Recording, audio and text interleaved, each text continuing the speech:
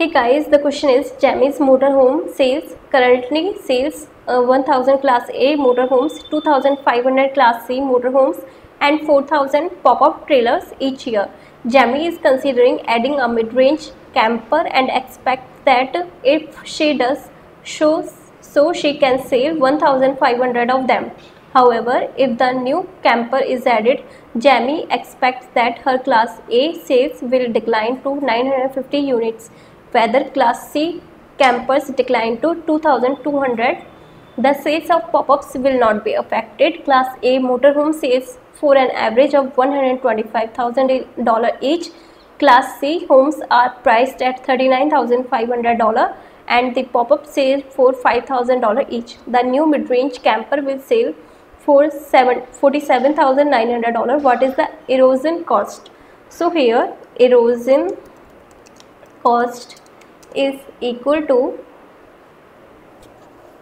loss in sales of class A motor vehicles motor homes plus loss in sales of class C motor homes plus loss in but there is not loss there is no loss of sales in pop-up trailers so there will be no loss.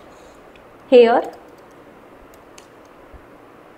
loss in sales of class A motorhomes which will be is equal to 1000 minus here decline to 950 units. 950 then uh, sale for an average of $125,000 so it will be is equal to $6,250,000 now loss in sales of class C motorhomes so it will be is equal to 2500 minus 2200 multiplied by 39500 dollar.